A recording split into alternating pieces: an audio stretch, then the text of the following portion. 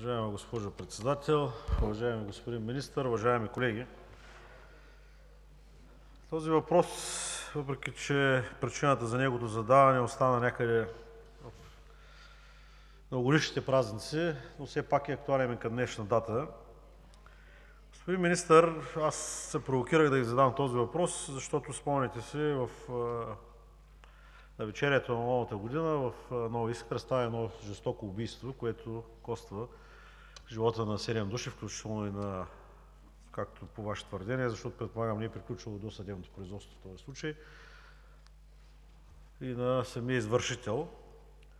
Стана ясно от Ваши изявления, на прокуратурата и други компетентни органи, че лицето, което според Вас е извършило това тежко престъпление, дълги години се е подвизавало на свобода, при положение че е трябвало да бъде приведено за изтърпяване на наказание лишаване от свобода. Аз, освен с Вас и с министъра на правосъдието, водя кореспонденция по отношение да установим именно колко лица към дата 15 януари 2018 г. с влязла сила ефективна присъда издирва Министерството на вътрешните работи и съответно Министерството на правосъдието ми даде някакъв отговор, който ще видим дали кореспондира с това, което Вие ще кажете. Но е много важно не само за мен, но и за българското общество колко души в момента циркулират в страната ли, в чужбина ли и вместо да излежават своите присъди. Най-лошото е, че никой към днескашна дата не може да ми отговори колко от тези лица, които трябва да лежат в затворите, са с тежки присъди, осъдени за тежки престъпления и които са способни да извършват подобни зверства. Защото това също притеснява българските граждани обществеността трябва да знае какви хора обикалят около нас.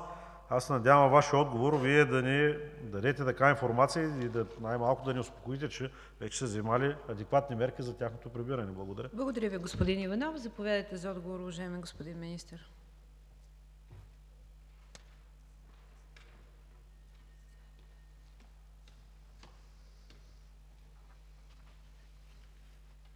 Благодаря, госпожо Председател. Уважаеми дами и господа народни представители, уважаеми господин Иванов! Тук стана много деликатно. Вие държите една папка с числа и аз държа един лист с числа. Сега ще ги сравним, дано моите съвпаднат с, тези, които Вие държите. Усмихвам се. Добре. Ще ги чуете числата. Те са две буквално, не повече. Но ви благодаря, че фокусирате върху тези издирвани лица. Трябва да ви призная, че аз като отидох и седнах на бюрото, в началото, още когато ми даваха всяка сутрин един бюлетин, ми правеше впечатление това число с издирваните лица. И веднага се поинтересуваха от тези толкова много, това четири цифрно число, кои какви са вътре, опишете ми. Как може една малка България да издирва толкова хора и да не ги намира? Те навън, извън държавата ли са, вътре ли са в държавата? И това го направихме постепенно. Този случай само ескалира и фокусира вниманието, както и вие го правите. А ето какви са числата са в момента, което правим и което аз имам на бюрото си. Към 15 януари 2018 година от МВР са обявени за общо държавно издирване 1126 лица от категорията влязла в сила присъда лишаване от свобода. Това е конкретният ви въпрос и конкретно ви отговаря. Значи тези, които са с влязла в сила присъда, са 1126 и ги издирвам. Дали е голямо или малко числото, сигурно ще ме попитате. Аз също се питам и съм разпоредил да ми направят сравнение. С какво мога да ми кажат дали е голямо малко, освен да го сравнят с нещо? Или с стари периоди, да речем, или какво се случва в другите държави. Аз се интересувам в Румъния на 30, там на повече от 7 милиона, както сме ние, там на процентно на населението на 100 хиляди толкова ли издират, колкото ние? В Сърбия, в Австрия, в Германия, айде да, подобни държави да са. Чакам този анализ да ми го дадат и да ми кажат тук много ли са или са малко. Ние ли не се справяме добре или пък може би сме някъде в средата? Или това, ако ви допълвам с информация. През 2017 година са издирени, едно друго число да ви кажа, 563 лица от категорията влязла в сила присъда лишаване от свобода. 563 за 2017. Тоест половината от тези за една година ги издирваме. Явно други излизат. Аз така си го обяснявам. Ние пак търсим. Дано това е добро число. Очаквам анализа и тогава, ако ме попитате или в частта разговор, съм готов веднага да ви дам допълнителна информация, но тревогата и вашата, и моите, и предполагам обществото е такава, както се казва и което ще потвърда пред Вас, фокусираме го постоянно и се опитваме да направим максималното да няма такива случаи. Благодаря. Благодаря Ви, уважаеми господин Министър. Заповядайте за реплика, господин Иванов.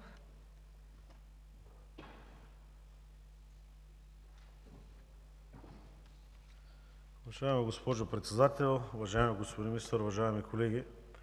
Аз, меко казано, съм шокиран.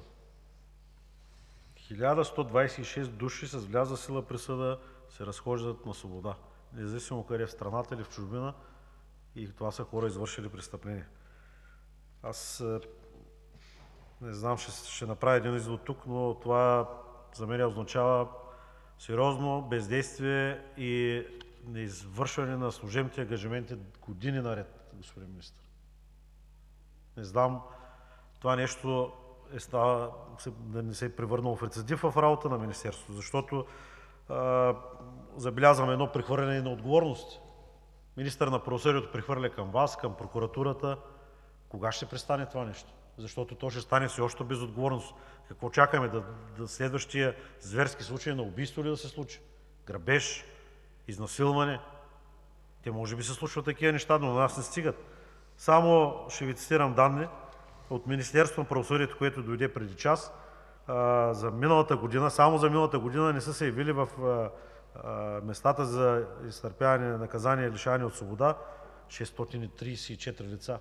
Само от 1 януари до 15 януари 18 лица не са се явили, при положение че променихме закона да ги задържа веднага, нали така, да влизат. Тези 18 лица какво се е случило с тях? И пак наистина, честно Ви казвам, усещането, което остава в нас и обществото след тези изнесени данни, е, че има едно систематично неизпълнение на задълженията. Аз се надявам в следващите месеци Вие тук да дойдете да ни докладвате, че от тези 1126 лица няма нито едно, което не е проверено за изпълнение на присъдата. В противен случай кой български гражданин ще се чувства сигурен оттук нататък спокойно да се разхожда по улиците, камо ли да празнува някъде в отдалечено място? Благодаря. Благодаря Ви, господин Иванов. Заповядайте за дуплика, господин Министър.